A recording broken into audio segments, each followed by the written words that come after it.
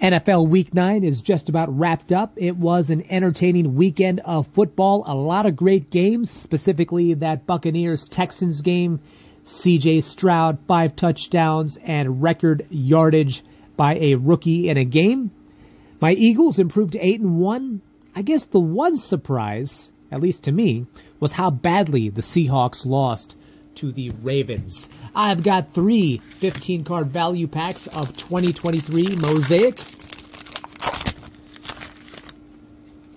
Breece Hall. The Jets and Chargers square off tonight on Monday Night Football. Shaq Thompson. Hall of Famer Jack Youngblood. Michael Thomas. Aaron Rodgers. Could he be back sooner than later? Kenneth Walker III. BJ Ojulari. The Cardinals got blanked yesterday. Luke Musgrave got a Maxx Crosby. The Raiders, they were celebrating under their new head coach, Antonio Pierce. Perhaps their season is not completely lost. D'Andre Swift. Khalil Mack. Dalvin Cook, who wanted out of the Jets, but as of now, he's still a Jet. Jameson Williams. We got a Roquan Smith, Bang, and Derius Davis, Silver Prism rookie card. Second pack.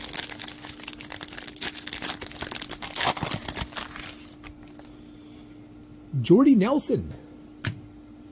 That was Aaron Rodgers' favorite target. I do believe they connected for 65 touchdowns together. Boomer Hunter Renfrow. If you go on over to my short section, I met him last year at an autograph signing in South Carolina, and there is footage of that. Justin Jefferson, Josh Downs, Vita Vea, Clark Phillips, Riley Moss. We have an Alec Pierce, Silver Prism, Colt Swan yesterday, Jahan Dotson, Josh Allen, Kenny Pickett, Byron Young, my homeboy.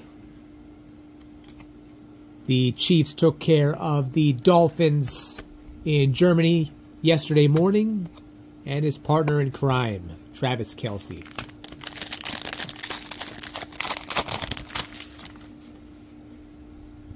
Terrell Suggs, Hall of Famer Michael Irvin, Sky Moore, Antonio Gates. Jalen Hurts, national pride. Banged up his knee right before halftime, but came back, and it looked like nothing happened. Fly Eagles fly. Heisman winner, Eddie George. DJ Turner, Josh Downs, Anthony Richardson. Got a silver prism rookie, very nice. Darnell Wright. Myles Garrett. Kyle Pitts. Courtland Sutton. Got a Dalvin Cook once again.